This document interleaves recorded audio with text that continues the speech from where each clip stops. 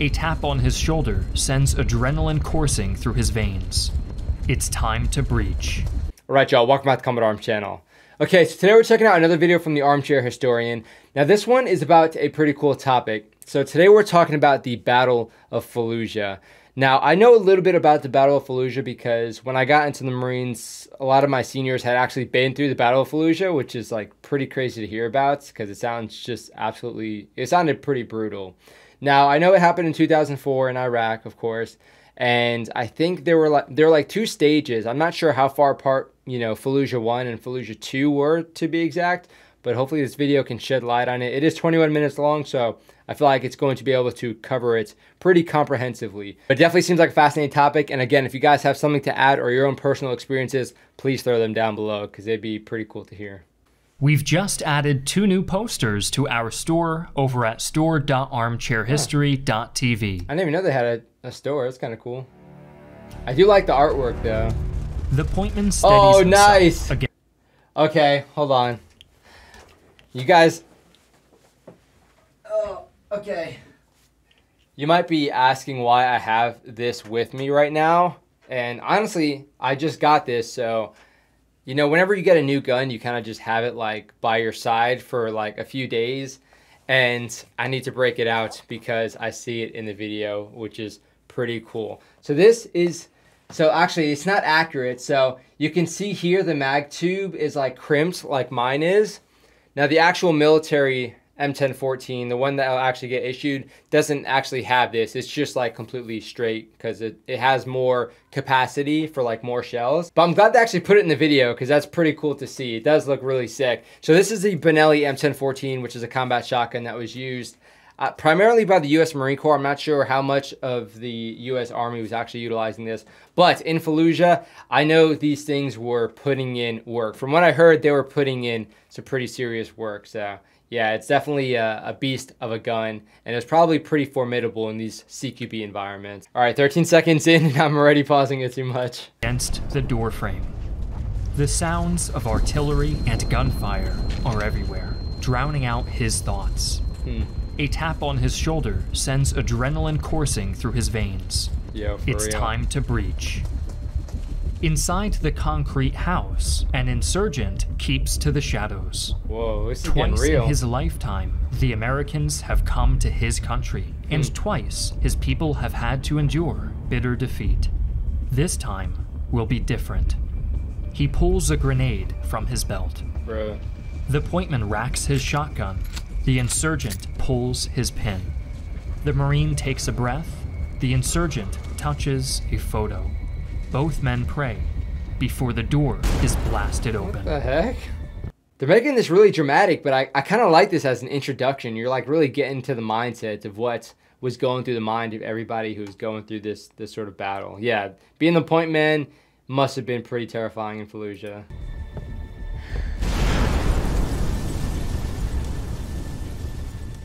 Hi, I'm Griffin Johnson, the armchair Hello. historian.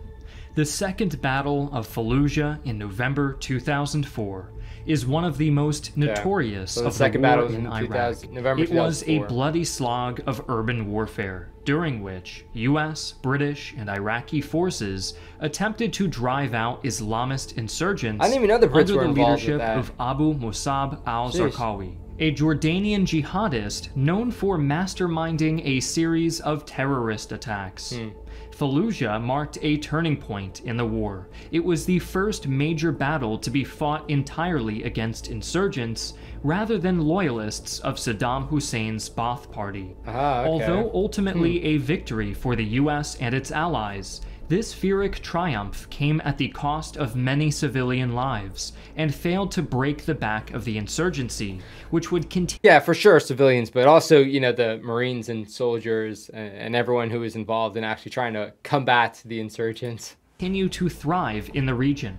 In today's episode, we'll examine how this brutal house by house battle unfolded and how right. it set the stage for conflict that raged on for years to come. Let's do it. I'm excited. When settling down to relax and watch a long history documentary, oh, okay. it's always nice to occasional yep. selection palette and take Get that ad money. Good stuff. US forces had tried to take control of Fallujah once before, in April of 2004, following Okay, the murder April. of four American private military contractors. That operation, known as Vigilant Resolve, ended with a US withdrawal and an agreement that the local population would keep the insurgency out of the city. But instead, Fallujah would become a significant stronghold for insurgents such as Al Qaeda and the Islamic Army in Iraq, among hmm. others. As the number of insurgents swelled, American concern grew to match, and by September, US commanders were planning a military operation to Phantom seize Fury. control of the city. Hell yeah. Operation Phantom Fury. Mm-hmm. The primary motivation was to provide security for Iraq's first elections of the post Saddam era. But another important strategic objective was the capture of Zarqawi, who was believed by the US to be holed up in Fallujah. All right, so let's You check out these units real quick. So, 3 1, 3 5, 2 7 Cav, 3 8. Okay, 8th Marines, hell yeah. 1 3, and then 2 2 Infantry. 2 2, actually, I didn't know 2 2 was involved with this. If that's the same 2 2 I'm thinking of, then they're currently stationed at Fort Polk. Because I was in 230, and then there we also had 2 2 and 2 4. So, kind of cool. We're seeing some pretty familiar faces here. Fallujah. U.S. forces had kept a tight hold on Fallujah's surroundings. They maintained checkpoints on all roads leading out of the city and seized any Iraqi police and National Guard vehicles attempting to leave. Hmm. Dang. During the night, AC 130 gunships Oh, destroyed man. every vehicle spotted with a weapon and conducted frequent bombardments of any house suspected to be harboring insurgents. Oh damn! It The was civilian population, free recognizing the costly signs of an imminent American assault, fled the city in droves. Hmm. Many neighborhoods were totally abandoned, including Fallujah's southern district, dubbed Queens by U.S. soldiers. by October, reconnaissance flights showed empty yeah, imagine that nickname wasn't meant to be flattering, but yeah, from what I've heard and from what I've seen, Fallujah was like pretty well built up. So it must have been really difficult, especially people who didn't really get like really good like room clearing or CQB training, having to go into like this whole built up urban area with very minimal training would be pretty scary. clotheslines and abandoned streets. Indeed, the civilian population was estimated to have fallen from around 280,000 to as little as 30,000. These Dang, empty of people, neighborhoods were swiftly filled by more than 3,000 insurgents who took to operating in small groups of between 4 and 20 fighters amid the abandoned homes. Wow. These dispersed groups were able to weather the American bombardment in Fallujah's resilient cement houses. That's terrifying. Unable to blast them from their shelters, the Americans would have to clear them out, room by room. Good grief. It would be a hard fight to even get to that point. Hmm. Since April, the insurgents' numbers had doubled as they drew in combatants from virtually every armed group in Iraq. Oh yeah. Trenches were dug. I do remember hearing about that, especially like the the Chechenian snipers. From what I heard, were like insane and very very formidable when it came to these sorts of built up areas. It's blocked with concrete barriers or collections of cars and trucks, jury rigged emplacements of earthworks and sandbags prepared. Hmm. The insurgents had even managed to capture some weaponry from coalition forces. Among the most effective defenses, however, were the improvised explosive devices, Yep. or IEDs, with which the insurgents riddled the city. Yeah, vehicles at the time weren't meant to, Fallujah to was handle covered in booby traps buried under the streets, taped to the side of telephone poles, and hidden in rubble, abandoned vehicles, or empty houses, ready to explode the moment a Marine passed by. Hmm. Marine Expeditionary Force planners knew they would be walking into an enormous urban death trap, but the Americans had their own advantages. Okay. Most notably, their large force of professional and experienced soldiers. Oh, yeah. For Operation Phantom Fury, commanding officer Major General Richard Natonski believed it important to attack Fallujah with as much strength as possible.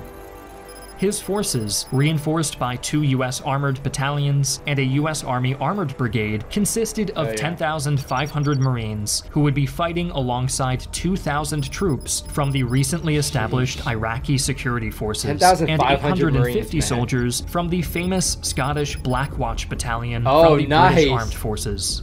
Hell yeah, dude. This coalition vastly outnumbered the insurgents. The Americans also had the advantage of formidable air power, with Hmm. AC 130 gunships on hand to provide close air support during the fighting. yeah, no kidding. However, these aircraft would only operate at night for fear of being targeted by surface to air missiles.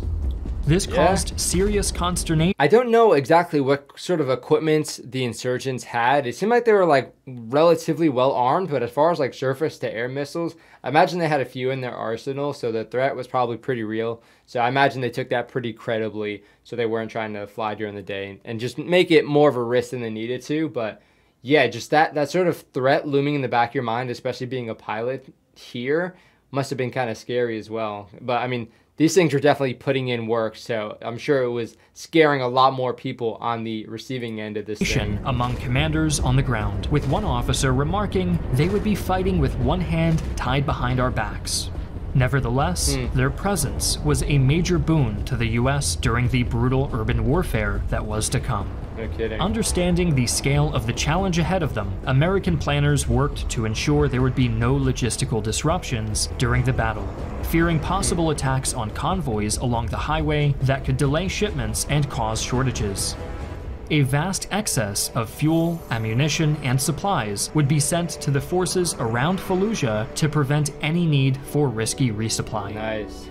That's good planning. Major General Good. Natonski divided the city into two halves and assigned to each a regimental combat team made up of mostly U.S. Marines and team. reinforced by an Army armored battalion. Sheesh.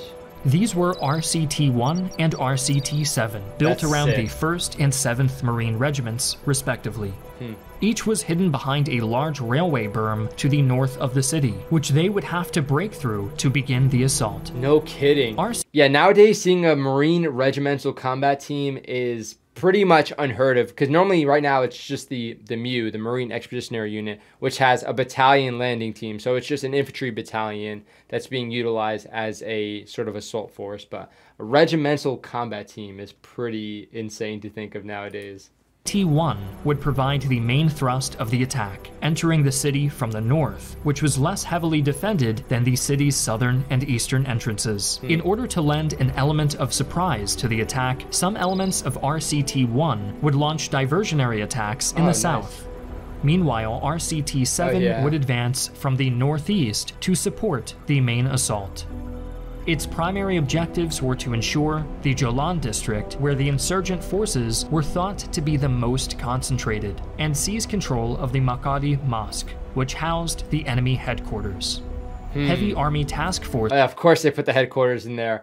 I don't know what the rules of engagement were for the mosque at this point, but from what I heard, it was getting pretty difficult to have to work around. Because obviously, you don't want to be firing on these religious sites, but when the enemy was using them so often, I don't know. I imagine the rules of engagement engagement shifted a little bit towards like the end when they were just realizing like they can't avoid it at this point. But maybe they'll talk a little bit more about that. would lead the way on both thrusts, driving as rapidly as possible toward the city center, while the Marines took on the difficult task of house to house clearing in their wake. Meanwhile, the Black Watch would maintain the perimeter around Fallujah and prevent other insurgent forces from cutting the city off. Good stuff. Finally, three battalions of relatively well trained but poorly equipped Iraqi security forces were brought in to support the Americans and provide peacekeeping after the battle. All right. The battle began in the ER. On the night of November 7th, the Iraqi 36th Commando Battalion and their U.S. Army Special Forces advisors captured Fallujah General Hospital and several minor targets in the west and the south, seeking to distract and confuse enemy combatants. They were watched closely by Marines 10 miles away through the infrared camera of a Pioneer unmanned aerial vehicle yeah. who relayed their observations to the forces on the ground via radio. That must have been crazy to watch. Two like, other the, UAVs the were surveying the city that night, seeking out the dark outlines of insurgents clustering in place or manning a heavy weapon. Oh, These man, positions would be relayed to Basher, the codename given to the AC-130 gunships waiting to unleash their deadly payload of 105mm artillery shells. Yep. Good stuff. The call sign is pretty fitting too. These attacks meant certain doom for their targets. The only escape was to take shelter in a mosque. Targeting a religious building is a war crime, making mosques guaranteed protection from aerial bombardment. Fallujah, known as the City of Mosques, had 200 of these to choose from. My Mosques gosh, were also reported to house significant amounts of armaments, making them extremely useful locations My for God. insurgent forces. Hmm. That's not fair. The diversion was successful, securing the peninsula west of the city and the two bridges across the Euphrates River, allowing the regimental combat teams to prepare for the main assault to begin the following day. All right. The daylight hours were spent striking key targets with artillery, unmanned predator drones, and guided bomb units to soften up the city's defenses. After dark, the Marines began their attack along the northern edge of the city, Damn, with the support from tanks and artillery. They first captured the railway station before advancing into the city proper, entering the Haynabe al Dabat and Al Hmm. My Naziza gosh, that looks districts by the afternoon of the 8th. These animations really help to get like I'm not sure. Of course, it's not going to look exactly like this, but to be able to sort of see the layout of the roads and whatnot, it just looks like a spider web of roads and crazy buildings and compounds. Like just trying to organize just the the flow of people must have been extremely difficult. So you're like, okay, you cleared up to this building, hold here until these guys can push up. So you're not just getting like a weird shape of formation and getting like possibly flanked or what have you. The night was cold, with intermittent rain showers, but the Marines' path was regularly lit by the detonation of dozens of rockets and mortars from the insurgents, as well as Oh, tank man, artillery, okay. mortar, and aircraft fire from the Americans themselves. Hmm. However, some units struggled to break through the railway berm and were stuck for hours as engineers attempted to blast through amid withering fire and No rain. kidding. The Damn, coalition have been a forces made significant progress during the night, but when sun rose on November 9th, the momentum of the battle shifted. Hmm. The insurgents began to aim their mortars more precisely and effectively, and their fighters took full advantage of the dense urban landscape to whittle down their foes. Hmm. Small groups of insurgents would dash through the narrow alleys, emerging briefly to fire RPG rounds at their enemies before darting away out of sight, while a good thing others that- used these sturdy cement buildings as pillboxes from which to the fire upon were, the were approaching really Marines. solid at this point. The fighting They're was at its work. most brutal inside the houses. As they advanced, squads of Marines would search each home one by one, clearing them of Hmm. enemy fighters in slow, exhausting urban fighting. For real. They found no combatants in most, but sometimes, without warning, they would enter a house to see grenades rolling across the floor toward them and a hail of gunfire bursting out of the shadows. Clearing a house required incredible persistence and overwhelming firepower, including the use of MK 153 rocket launchers. If even these big guns failed, the Marines would resort to smashing the windows, tossing in grenades, hmm. and sending hundreds of rifle rounds into the house before M1 frag. I'm not sure they were using M1s. They had to have had M67s at that point, surely. But okay, so yeah, the clearinghouses, from what I heard, was really brutal. Even like they would set up like false walls and whatnot, so they would hide in there. They would set up machine guns. They would have kill holes, so they would literally punch a hole in the wall and put like a machine gun or you know shoot down through these holes. And it was, man, it just it sounded absolutely terrifying. Of course, like they're saying, most of the buildings didn't have insurgents for sure, but that makes it even more terrifying because when you do actually come upon a building with insurgents, it's you know you're just trying to fight this complacency, and I'm sure they weren't really getting complacent. They definitely were well trained enough to sort of fight that, but it still must have messed with their minds a pretty good amount. Before bursting in to mop up any remaining foes. But this would be easier said than done. With insurgents lurking in every shadow and booby traps exploding around them, the Marines advanced through the streets of Fallujah at a snail's pace. Both sides would receive scant rest. Oh, yeah, true. That must have been really, really hard to sleep. Each night, with mortar fire continuing to rain down around them, Americans did their best to hunker down inside houses hmm. and sleep. In a bid to unsettle them, the insurgents adopted unique psychological warfare tactics, huh. blasting incessant chants from loudspeakers in the city's mosques. Wow. In return, US hmm. Army Humvees roamed the streets playing everything from Guns N' Roses songs eh. to the Predator sound effect in deafening volumes. Nice, nice. Okay, it's kind of cool seeing the psychological warfare coming into play because a lot of people don't really talk about that, and there's probably not that many videos that talk about like the psyops version or the psyops perspective of warfare. But I'm sure the role that psyops actually played in these sorts of battles was actually a lot bigger than a lot of people would consider. The next morning, the urban warfare resumed in much the same way, with brutal fighting for each and every city block. Hmm. The insurgents were relentless, but by November 11th, the northern half of Fallujah had fallen to the Americans. A day later, as US forces closed in on the insurgent headquarters, American aggression increased. It was estimated one in every 20 houses contained hostile troops, okay. compared to one in every 50 houses previously thought. Now anticipating oh, enemy fire dang. from every building, the Marines' standing orders became enter every room with a boom.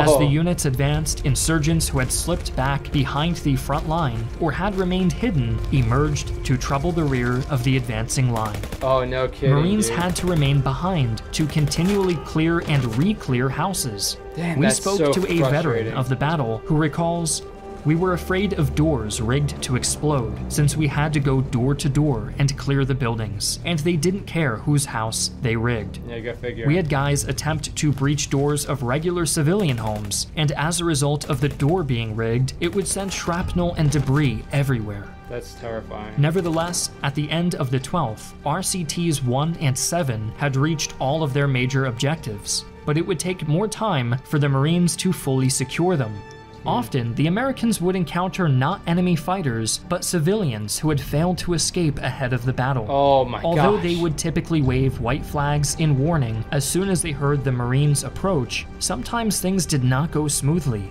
Hundreds of civilians were killed over the course of this bloody house by house warfare. Sure. At Damn. some stage of the fighting, American artillery units began to employ white phosphorus, an extremely deadly incendiary Ooh. agent, to root out dug in insurgent forces. The use of this toxic, caustic chemical weapon is considered legitimate if used to illuminate a battlefield or to produce smoke, but its use against enemy personnel is a violation of international law and is a war crime. Yep. Some journalists accused the Americans of deploying white phosphorus against civilian targets, an accusation vigorously denied by the US military. It has, however, been admitted to using the weapon against enemy combatants when conventional weapons became ineffective, claiming That's to have ensured stuff. no civilians were present before using it. Actually, I remember we were doing a range at one point and we were hitting these targets with white phosphorus and then the machine gunners lit it up with their tracers and whatnot and it just, you know, set the targets on fire. That was pretty insane to see. By December 13th, the fighting had begun to slow. Fallujah was under almost total coalition control, mm. although the occupying forces still faced stiff resistance from isolated pockets of insurgents. Some of the fiercest individual fights came in the battle's closing stages, such as the so-called House of Hell, in which a Marine battalion oh. faced down a group of well-trained, fanatical Chechen fighters yeah. in a well-defended home. Around this time, humanitarian operations were allowed to begin, despite continued bouts of airstrikes. So real quick, if you guys didn't see that, so this was Sergeant Major uh, Castle Kasal. I'm not exactly sure if I'm saying his name right, but he actually retired not too long ago, a couple of years ago. He actually got out of the Marine Corps, and that dude is a badass. You you probably have seen the picture at some point with the dude with the pistol, like all bloodied up and whatnot, with the people carrying Yeah, it's a pretty cool picture. And having, you know, known people that have had him as a sergeant major, it's pretty, pretty badass to think about that your sergeant major was this dude that you always see in pictures, stuff that like motivated you to actually join and whatnot. Were allowed to begin despite continued bouts of airstrikes and small arms fire. Hmm. RCT 7 set up a humanitarian center at the Al Hadra Mosque, and Marines in the Jolan district arranged for local Iraqis to enter the city to recover the bodies of dead insurgents. Hmm. For the following okay. two weeks, MEF Command described the ongoing operations as simply mopping up the final pockets of militants. Hmm. Sporadic combat would continue until the 23rd, after nearly a month no and a half of fighting. Jeez, Since the battle, allegations of war crimes, massacres, and human rights abuses have emerged. This has made Fallujah a focal point for opposition to the war in Iraq and across the West. Yeah, sure. I, I get it, but you have to consider what these Marines were going through. Like, at that point, they're really focused on their self preservation. Once you have the insurgents using all these mosques and rigging the doors, rigging the roads with explosives, and making holes to shoot down at you, they were really focused on self-preservation at that point especially again they didn't necessarily have the technology they have today they didn't have the training that they have today so it must have been hard for them to just think about ways to keep themselves alive while also trying to do it ethically you know? The battle was brutal ultimately proving to be one of the bloodiest in the entire conflict. Mm. Coalition forces suffered 720 casualties, with 107 killed and 613 wounded. Damn. Of these, 95 of those killed and 500 of those wounded were American, mm. while four British soldiers were killed guarding the highway. Deaths among the insurgents are estimated as ranging from 1,500 to 2,000 killed, Holy and cow. another 1,500 captured. Fallujah's Damn. civilians suffered 800 lives lost over the course of the battle. And in that's, the years since, shady. there's been a marked rise in infant mortality, cancer, and congenital anomalies huh. or birth defects, a consequence the of depleted phosphorus? uranium exposure oh. from munitions. The city, too, huh. witnessed catastrophic destruction, with nearly one fifth of its buildings destroyed and over half of those remaining experiencing heavy damage. Fallujah, once the city of mosques, had seen 60 of its 200 places of worship destroyed during the battle. Although the city was Makes captured, sense. the coalition had failed to land a decisive blow against the insurgents. Many of them simply slipped away into the surrounding Al Anbar province, hmm. including. Yeah, fighting an insurgency was a lot bigger thing than a lot of people considered just immediately going into it. It's it's hard to sort of fight an ideology like that if that makes any sense, especially when people don't necessarily have the same morals or ethics that you're trying to operate with. So you have things like this where they're using mosque and they're using the civilian populace to keep themselves safer. Abu Musab al-Zarqawi. By 2006, the province, with the exception of the city of Fallujah, was reported to be in total insurgent control hmm. leaving the United States with the hard task of battling them for many years to come. Yep. Again, if you guys have experienced Fallujah firsthand, or if you know anyone who has experienced it, please put it down in the comment section because, again, that would be really awesome to hear about those sort of experiences, especially the firsthand knowledge about how it was from from what y'all saw or you know how it was described. It it must be a really difficult thing to describe the Battle of Fallujah, especially since it was relatively alien as far as like again just the really built up urban areas, especially when you have all these insurgents and especially when you have this crazy built up area and of course when the insurgents are utilizing the civilians and the mosque and whatnot to try and keep themselves a little bit safer and also just dispersing in pockets here and there it must have been really difficult to try and deal with that mentally. But of course, if you guys have anything to add, please throw it down in the comment section. Hopefully, y'all enjoyed it. Again, Armchair Historian, they do some great stuff on the channel. So I will put the original video in the description. So definitely go and check out that channel because, yeah, this is some, some good stuff. It's nice to sort of learn the history, and it's just nice to sort of see everything animated so well because you can just sort of visualize it a little bit better as far as the conditions and just the overall layout of what they're dealing with. But hopefully you guys enjoy the video. Thank you for watching. Thank you for supporting the channel. Of course, I have merch in the video description, so if you guys want to check that out, you can do that. Or if you want to support me on Patreon, you can do that as well. I do appreciate it. Or definitely go and check out the Discord and share your stories there. Talk to other members of the community. It's a great place to check out. So thank you for watching. That's it for this video. I'll see you on the next one.